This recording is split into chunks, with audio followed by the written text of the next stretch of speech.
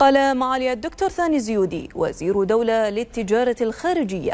إن نمو تجارة الدولة الخارجية خلال العام الماضي بنسبة 17% جاء نتيجة لانفتاح لانفتاح اقتصاد الإمارات على دول العالم بالإضافة إلى الخطط والتغييرات التي انتهجتها الحكومة خلال السنوات الماضية.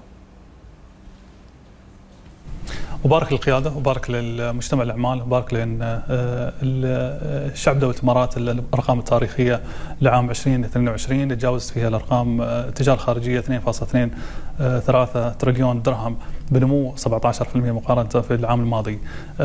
المميز فيها أنها أكبر من النمو العالمي اللي كان تقريبا حدود 12.2% وهذا بين أن سياسات الانفتاح والتغييرات اللي تم القيام فيها خلال السنوات الأخيرة قاعدة تعطي نتائج إيجابية في في دفع هذه الأرقام للنمو ومواصله العلاقات المتميزة مع دول العالم اقتصاديا وتجاريا.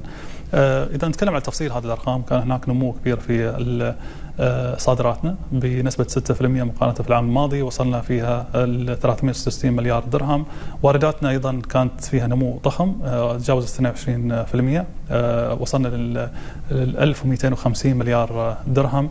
إعادة تصدير أيضا كان هناك نمو متميز بنسبة 14% وصلنا وتجاوزنا 600 مليار درهم لأول مرة وصلنا 614 مليار. نتميز في إعادة التصدير أنها فيها سلع استراتيجية. نتكلم على هياكل وأجزاء من المحركات والطائرات. نتكلم على المعادن الثمينة وهي كلها لها إضافة في السلع الإماراتية اللي تروح دول العالم.